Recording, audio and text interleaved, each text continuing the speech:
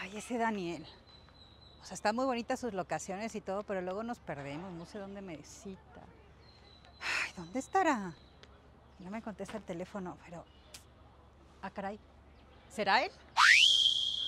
Así moría, y se moría, oiga, hija, Netflix and chill.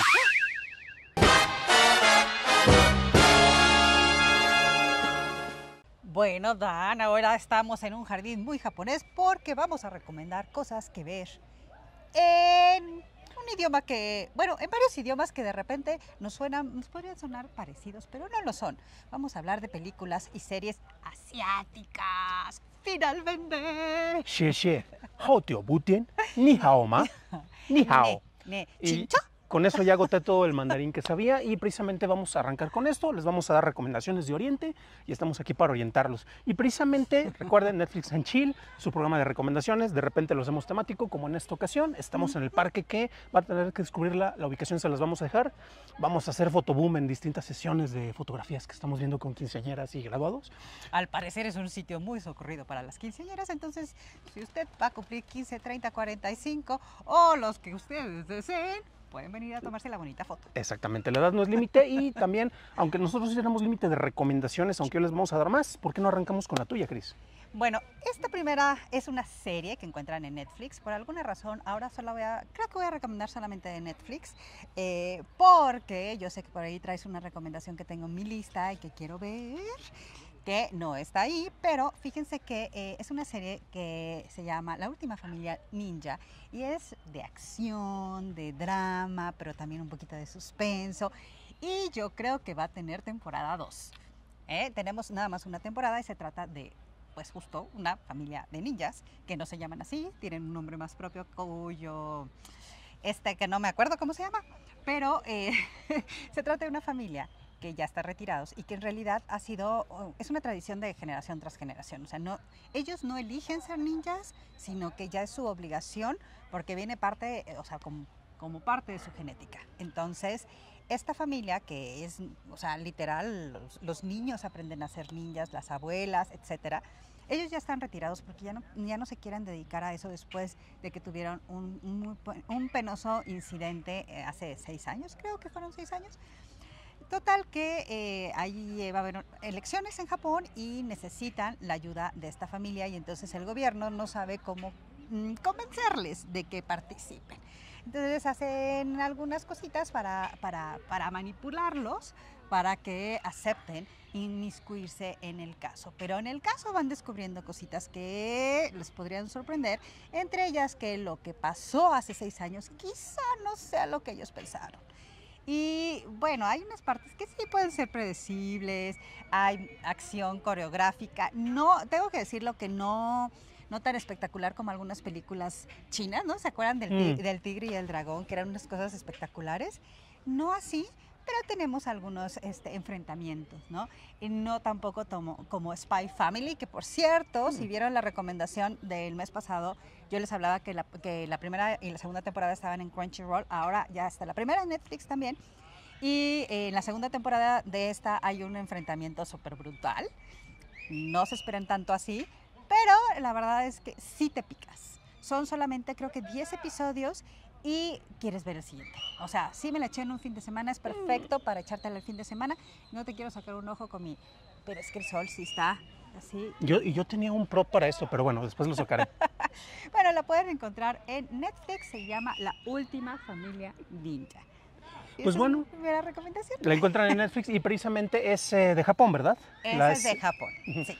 Eh, nos vamos a mover un poco porque vamos a estar explorando distintos puntos y nos vamos a ir a Corea, Corea del Sur, porque Corea del Norte no existe, porque de repente este, está bloqueado en esos lugares, pero es de una película que estuvo recientemente en cartelera y se presentó en Morelia, si no me falla la memoria, y voy a tratar de pronunciar su nombre, es eh, Conqueuriten Utopia que se conoció en inglés como Concrete Utopia, Utopía de Concreto, o. Los sobrevivientes del terremoto. Ok. Eh, esta ¿En dónde cinta... está ahora? Ah, precisamente está en Apple TV eh, para que la rentes. O sea, está en renta, sistema de renta, no está dentro de la plataforma de manera gratuita. También la pueden encontrar en Apple TV, eh, perdón, en, en- en Android, eh, en, en Google, la tienda de Google, bueno, Ajá, este, para que la puedan encontrar. Pero en Apple es donde la vi con el precio más accesible. No me acuerdo, van a encontrarlo en las notas del episodio. Ajá. ¿De sí qué? me acuerdo que estaba, que estuvo en el cine y, y, y, bueno, yo no soy fan de esas películas de desastres, pero al parecer está buena, ¿no? está bastante buena. ¿De qué se trata? Básicamente una gran hecatombe y esto ocurre en Seúl, Corea, es donde vamos a tener la historia eh, más importante. Lo que ocurre ahí en particular es que tú sabes que uno de los grandes eh, metas que uno tiene aspiracionalmente es tener tu propia casa o tu propio departamento, dependiendo de la ciudad en la que vivas. Seúl, Corea, este, sabes que es una gran metrópoli. Eh, si eres clase trabajadora, tener tu propio departamento es algo con lo que añoras. Y precisamente con eso esta, juega esta película. Llega una gran hecatombe, prácticamente todo está destruido y solo queda un edificio de departamentos. ¿Qué ocurre ahí? Que los sobrevivientes del terremoto, como es su nombre en español, buscan cómo tratar de continuar con vida y refugiarse en el único lugar que queda disponible, que es este edificio de departamentos.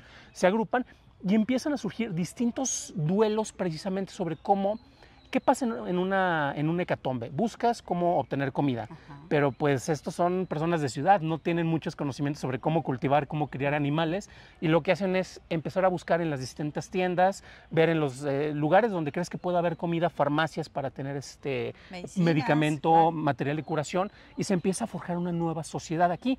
Y dentro de esa nueva sociedad que se empieza a forjar, después de una hecatombe tienes la oportunidad para reinventarte. Y tal vez tú en el pasado eras un donadie o eras una gran personalidad, un diputado, una figura pública, un artista, pero aquí todos somos iguales. Y ves cómo empiezan precisamente estas circunstancias a manejarse para que algunos puedan ser oportunistas y se aprovechen de eso y otros completamente este, pues no sepan cómo reaccionar ante esto porque siempre estaban acostumbrados a recibir órdenes. Una película muy interesante, sí tiene tintes algunos de comedia, eh, no es tan trágica como puede sonar porque estamos hablando de una hecatombe, pero más que nada es un drama con tintes de comedia y crítica social sobre lo que ocurre, ubicado completamente en, en Corea, como les menciono, en un edificio de departamentos abandonado en Seúl. Lo encuentran en Apple TV y esa sería mi segunda Tu recomendación. primera recomendación. Ah, es que la primera recomendación efectivamente es como la segunda y no es cierto. La segunda recomendación que les voy a dar, y sabías que ya estamos en TikTok, ¿verdad? No, no sabía. ¿No sabías? Ay, bueno, demonios. Alguien te claro debería de robar. que estoy en TikTok, porque de hecho yo lo he compartido. Entonces, bueno, ya tenemos el canal desde hace, desde hace algo de tiempo. Ahorita estamos eh, poniendo algunos segmentos de nuestras recomendaciones, un minuto, dos minutos aproximadamente, que es lo que tenemos acá. Y precisamente allá nos llegó una recomendación de Jun M y ella nos habló de Diarios de la Boticaria. Eh, la historia es muy interesante. Gracias, Jun, eh, por dejarnos el comentario. Déjenos sus recomendaciones, ya saben, aquí en los comentarios. ¿Y de qué se trata? Esta la, la van a encontrar eh, precisamente ¿En en Crunchyroll? Crunchyroll. Y es una sobre una jovencita que fue secuestrada, la boticaria o la farmacéutica, es farmacéuta, la que atiende la farmacia, Ajá. este, básicamente este, es secuestrada y después la venden eh, para que sea sirvienta, pero sirvienta de un emperador. Entonces vemos cómo utiliza sus habilidades precisamente de sanación y de conocimiento para empezar a ganar favores. Tiene dos temporadas hasta donde alcancé a ver. Curiosamente también estaba en Apple TV, pero eh, si tienen suscripción a Crunchyroll, ahí también la pueden encontrar. Entonces, Sí. este, los diarios de la boticaria y es Kusuriya no Hitorigoto. Bueno, esa yo tengo que decir que también me la recomendaron a mí, me la recomendó mi hermano Omar y tengo que decirlo porque él desde cuando está insistiendo. Y mi cuñada Yunuen eh, me dijo que era como un dorama, pero en animación. Me dice, te va a encantar. Y esa es la que yo les decía que tengo en mi lista pendiente por ver y que nos recomendaron en TikTok y en mi WhatsApp personal de mi hermano. Exactamente, entonces, sí, pero ese creo que no lo podemos compartir esa red porque es más privada No, que no, pública, sí. ¿no? Ajá. Pues bueno, vamos a una pausa. Recuerden que nos pueden encontrar en, en YouTube, en TikTok, eh, a Chris también en otras redes, también en otras redes, que les daremos al final. Y nosotros vamos y venimos.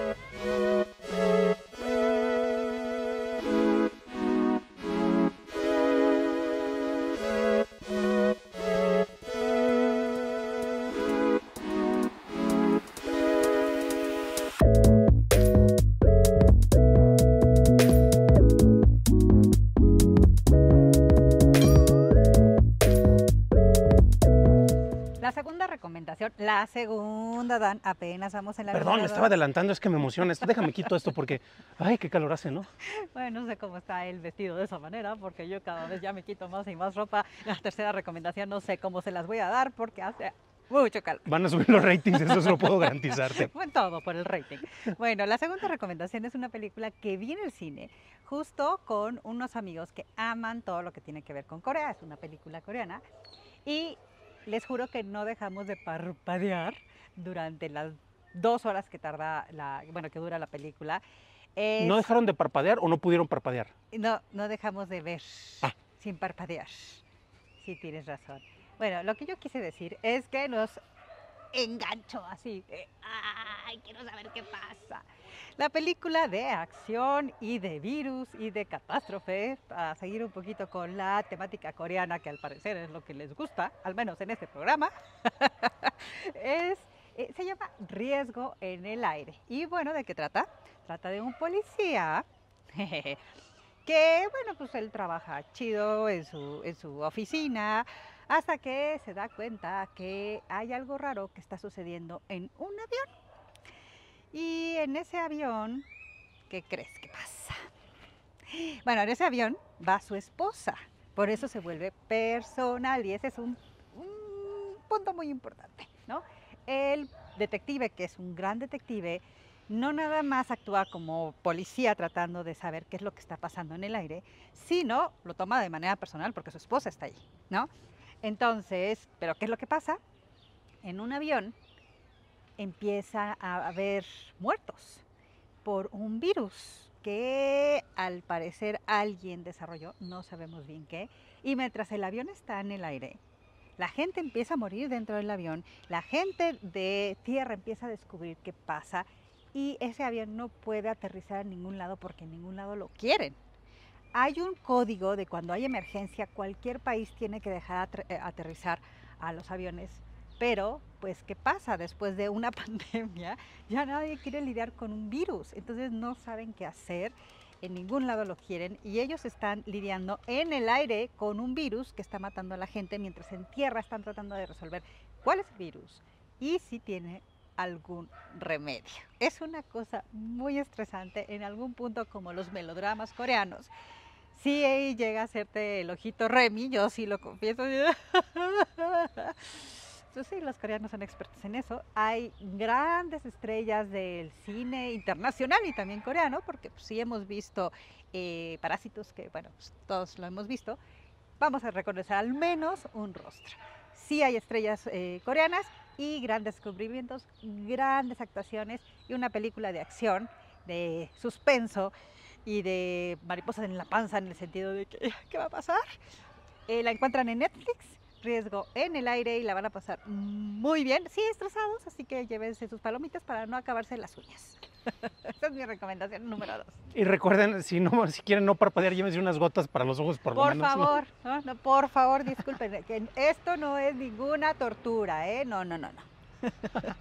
Pues mira, ahorita ya, ya hablamos de, tenemos dos recomendaciones seguidas donde hablamos de catástrofes, de cosas que te pueden estresar. Y usualmente en esas circunstancias es cuando puede surgir el orgullo y el valor y el heroísmo. Y les voy a hablar acerca de, en esta recomendación, del héroe más grande de todo Japón, del que jamás habían escuchado. Y esto es con una película que van a poder encontrar en Tubi y que se llama Top Knock Detective. Es una película que desde que la vi hace aproximadamente, creo que fueron cinco años, si no es que más, eh, encargué mi, Blu-ray que me llegara a través de los amigos de Arrow de Inglaterra, carísimo de París, perdón, de Inglaterra. Después entrevisté, para que busquen en el canal de Churros y Palomitas, entrevisté a los dos directores que son este, eh, James McCann y, no, Aaron McCann y Dominic Pierce. Tenemos la entrevista con ellos desde hace cinco años y finalmente podemos verla de manera legal su película aquí en México, no encargando Blu-rays, sino en la plataforma de Tubi, que es completamente gratuita. ¿De qué se trata esta película? Pues bueno, por allá de los años este, 90, no sé si te acuerdas que empezaron a surgir algunas series muy populares donde tenías a cinco tipos disfrazados de distintos colores, eran como que papá poderosos y se juntaban y se armaban en un robot gigante. Y esa fórmula se basaba en que tenías una serie original japonesa, grababas unas cuestiones en inglés y básicamente reciclabas algo que ya existía en Japón para tener tu serie para, producida para, para el mercado estadounidense. Pues resulta que Top Knock Detective trata sobre la verdadera, guiño, guiño, historia en lo que pasó con este, el detective del, del, del chongo en la cabeza, de- por eso el Top Knot, el, el nudo en la cabeza, el detective de- del, del, del, del, nudo, del de chongo moda. en la cabeza.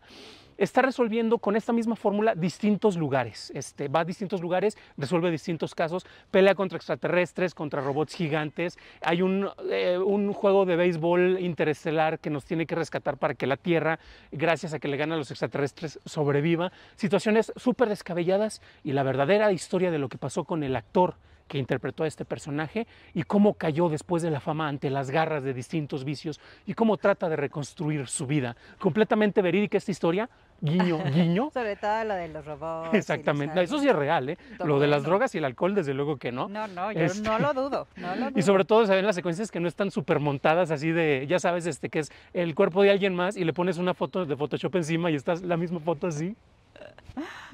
Este, casi casi como de South Park.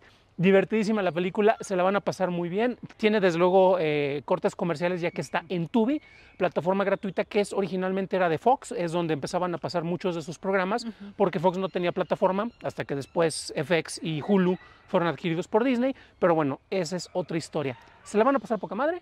Top Not Detective la encuentran en Tubi, como lo mencionaba. Padrísimo, me encanta Tubi porque cada vez tiene más opciones. O sea, si ustedes no la tienen en su televisión o en su en su plataforma, digo, en su tableta o en su celular, están perdiéndose de grandes cosas y de manera legal, de manera gratuita y hay cosas muy divertidas por lo visto. Ya hemos recomendado varias aquí.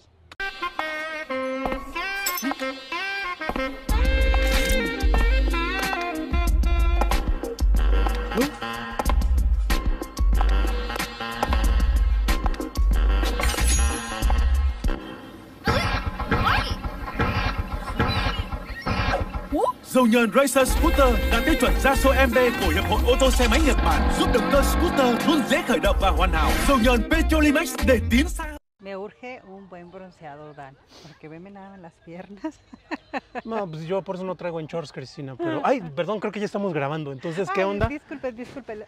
La tercera recomendación va a ser un anime que también encuentran en Netflix y que es bastante peculiar, ¿eh? Sí me ha sorprendido. Se llama Oku, los aposentos privados. Uh, Oku, así la encuentran. Y eh, trata de una cosa muy rara. En Japón, ah, en las dinastías antiguas, sucedió algo que mm, el mundo entero no se enteró. En alguna época hubo una fiebre, una, una como varicela, una enfermedad que mataba a los hombres, en especial a los jóvenes. Entonces, esta, esta digamos, pandemia eh, se, se, esparció tanto que Japón se quedó con muy pocos hombres, eh, digamos que una tercera parte, no, una cuarta parte de la población eran hombres y tres, terceras tres cuartas partes de la población eran mujeres. O sea que había muy poquitos hombres. Entonces, ¿qué pasa cuando, cuando hay algo así, no? Pues que las mujeres empiezan a hacer todos los trabajos, empiezan a hacer las labores que eran um, antes masculinas y los hombres, de alguna forma, llenan ciertos espacios femeninos. Por ejemplo, eh, pues ya los labores, las labores del, campo, incluso hasta las cabezas reales y eh, las cabezas del gobierno son ocupados por mujeres y los hombres se vuelven el bien preciado, se vuelven pues sí muy preciado el esperma, ¿no? Para seguir perpetuando la especie, pero también se vuelven eh, las, eh, las damas de compañías, las personas que hacen las limpiezas. La mujer trata de alguna forma al hombre como estamos acostumbrados de que sea así. Pero como en el mundo hay otro, otro, otro sistema de mandato donde los hombres son los que mandan, en Japón se tiene que mantener todo esto en secreto. Tanto así que los nombres de las reinas y de las personas que están en el poder siguen siendo masculinos. Y entonces a la reina se le llama rey y es el señor. Y las concubinas pues son concubinas y no concubinos, ¿no? Entonces existe una cosa muy peculiar y muy interesante que vamos viendo como, como qué sucedería si se invirtieran los roles, ¿no? Y en estos roles está el oku, que es un espacio de, una, una especie de castillo eh, real en donde solamente hay puros hombres y particularmente atractivos. ¿Para qué creemos hombres atractivos? Pues nada más para que la reina, la monarca, disfrute de esa belleza. Ajá. Entonces su gen, pues esconde, está totalmente desperdiciado porque la única persona que puede verlos, eh, bueno, no la única, pero digamos que es un privilegio de la monarca. Entonces em- es- empezamos a ver que en muchos, en muchos campos, eh, bueno, en muchos pueblos del campo, etcétera, digamos que la, la única opción, así como muchas veces como cuando te vas al seminario, así, es eh, pues em, irte al- a, a a, esto, a, estos, a esta casa, porque pues es la única manera de que ya tu, tu familia, tu madre, no tenga que alimentar tu boca, porque a lo mejor si tú eres pobre no va a haber una mujer rica que se quiera casar contigo. No sé si les suena todo esto. Entonces empezamos 80 años después de que empieza esta enfermedad y eh, ahí como que las mujeres que ya son, que son jóvenes no entienden por qué a las mujeres no se les permite hacer ciertas cosas en otros países. Como, ¿cómo? Pero las mujeres son las fuertes, los hombres son los débiles, ¿no? Y, pero la reina actual digamos que la que empieza el- en donde empieza la serie, eh, se va a los, a los archivos para pues para entender la historia. Entonces nos vamos al pasado y empezamos a ver la historia de la primera monarca y de un monje al que obligan a convertirse en su amante. Es muy fuerte todo esto, o sea, sí es, muy interesante, es muy peculiar este anime. Y eh, yo voy como en el episodio 7, 6 y creo que son también 10. Eh, no sé si va a tener una segunda temporada, todavía no llego al punto en el que entiendo si va a haber o no, pero hasta el momento está siendo muy interesante cómo, cómo se cuenta la historia de otra manera. Y la encuentran en Netflix. Pues bueno, es- curiosamente me recuerda, no tiene, no, hay un Bar- una Barbie ni un Ken por ahí, ¿verdad? Porque también roles invertidos, etcétera. Y también Why the Last Man, que basado en un cómic precisamente de Brian K. Vaughan, que tuvo una serie en Hulu que trata el mismo tema, eh, que bueno, es- son distintos matices sobre historias similares, pero bueno, eh, esa nos dijiste que la encuentran en Netflix. Perfecto.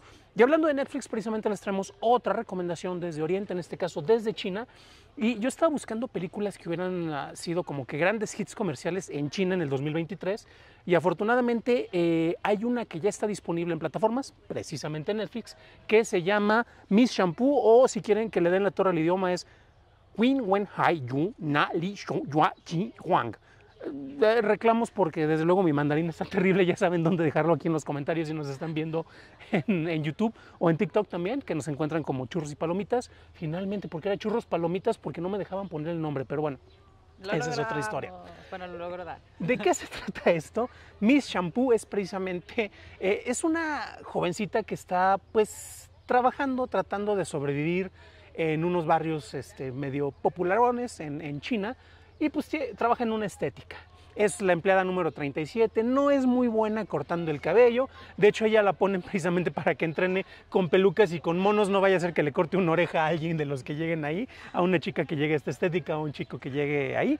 Ella está viendo en su celular un partido de béisbol en la noche, para tratar de mejorar sus habilidades, cuando de repente entra de imprevisto alguien y se esconde dentro de la estética. Oh, Dios mío, ¿qué está pasando? No, ella ni se inmuta porque estaba acá viendo, este, El partido. practicando y viendo el partido en su celular aparte en lo que se está escondiendo este tipo y de repente llegan varios mafiosos, empiezan a buscar por todo el lugar, ¿dónde está? ¿Dónde está? No lo encuentran, se van, gracias a que esta chava se emocionó por un home run así de, ay, todos, no, no hay nada por acá, esta no sabe ni qué está ocurriendo. Y resulta que el tipo que se estaba escondiendo era el jefe de una banda de las fuertes dentro de este sector. Y gracias a que esta chica no lo delató, aunque ella ni en cuenta, pues él le debe la vida, ¿no? ¿Qué es lo que ocurre? Como buen mafioso con cierto honor, va al día siguiente y dice, ¿sabes qué? Quiero que ella me corte el cabello. No sabe lo que dices. Exactamente, la, la- la dueña de la estética le dice, no, no, si quieres yo te lo corto. No, no, no, no, quiero que sea ella. Y de tener su, su greña larga, acá ya sabes, varonil, greña larga varonil, sí, desde luego también, este, con, con sus rizos de mafioso, tipo el cuervo, pero la versión del, del 94, pues lo deja con un peinado que parecía una moda. Entonces, él así como que sale, pero pues le acepta y le paga muy bien porque pues le salvó la vida. Corte A, este, empieza a establecerse una relación muy padre entre ellos dos. Va después a que le corrige el cabello y se lo deja más decente hasta que, como el cuarto o quinto corte de cabello, finalmente ya se ve bien. Y en agradecimiento porque nuevamente le debe la vida, empieza a traer a los demás miembros de su banda criminal a que se corten el cabello y ellos protegen, eh, ahora sí que hacen que esta parte del territorio sea como si fuera de su territorio y protegen a todas las que trabajan en la estética, a la dueña y a esta chica y de repente ves cómo empiezan a mejorar las habilidades porque ya hasta se ven con sus looks acá, que con el mechón este morado y cabello así de Brad Pitt, así. Como muy K-pop. Eh, Muy. K-pop, hay varios por el estilo. Y empiezan a hacer la banda mejor, con mejor estética, con el mejor look que hay por todo el barrio. Hay pleitos criminales, hay un montón de exageraciones. Miss Shampoo, eh, si quieren verla en español, está en español. Véanla en chino porque los diálogos, honestamente, y la entonación que le dan, tú lo sabes porque te encantan también las series coreanas. Sí, sí, sí. Exactamente. Ah. Son divertidísimos, se la van a pasar bien, la van a encontrar en Netflix y desde luego eh, con esto ya tenemos nuestras, fueron seis, ¿no? En esta ocasión fueron ocho recomendaciones. Yes, sir. Porque Ocho. tuvimos eh, unas que nos llegaron por TikTok, otras precisamente con nuestra colaboración con, con, con Con Romy desde, desde Argentina. Y con esto terminamos este programa. ¿Tú cómo te sentiste en nuestras recomendaciones Pues asiáticas? bien, pues me, me encanta porque yo sí veo películas asiáticas, me encanta. Y series también, ¿por qué no? Aunque ahorita estoy en una, también soy muy fan de los realities. Hay que hacer algo sobre los realities. Podría ser temática, ¿eh? Yo soy muy fan de los realities, ahorita estoy muy enganchada con uno, que a lo mejor yo les, les recomendamos más adelante porque sí soy muy fan, muy fan. Pero ¿de cuáles realities? Ojo, realities de concurso. Esos son los que a mí me gustan. No, o sea, los de las Real Housewives o como se llaman, esas nunca las he visto y no se me antojan. Neri Day Fiancé, que es el megajitazo en Estados Unidos y que está en, en Max, por ejemplo. Eh, no. Ok. No, no, no, yo de concurso, ¿no? Que ya no- ni les voy a decir qué nombres porque a lo mejor sí nos aventamos a, a recomendar aquí. Pues bueno, esa podría ser un siguiente programa. Les agradecemos a todos los que nos acompañan, eh, ya sea en las distintas transmisiones en vivo, desde luego a los que nos apoyan con sus suscripciones en Twitch. A ustedes no les cuesta nada y a nosotros nos caen unos, unos pesitos como para pagar distintas locaciones. Ojalá algún día sí vayamos a Japón de verdad y no únicamente Ojalá. aquí. Este, y desde luego a todos los que nos apoyan en Patreon y van a ver sus nombres. Yo creo que van a empezar a aparecer por este lado a continuación en lo que empezamos a hablar de otras cosas. Es, oye, no, tú- no grabamos nada aquí, ¿verdad? En el arco ese de allá, ¿verdad? No vamos a grabar algo porque además, ¿sabes qué? Si- ¿Qué si- pasó? ya que te quiero limpiar ya. el pantalón. y Ay, te- aparte te da ansiedad. No, bueno. Y están todos entierrados. No, bueno. es que esas son las desventajas de estar por acá, pero bueno. Oye, las tortugas, yo sigo, si- sigo diciendo que esas Que este, sí son reales. no he visto que se muevan. ¿Cómo no? Se están moviendo hacia el sol. Ven, ven. Ah, la de la derecha sí, yo vi que se se movió. Y estas, Qué agusticidad. Es que aparte así como que está, mira qué vida, vida de tortuga, ¿no? Vida de tortuga echada en el sol. Exactamente. Y quiero creer que aquí ya terminaron los créditos porque ya no sé qué más decir.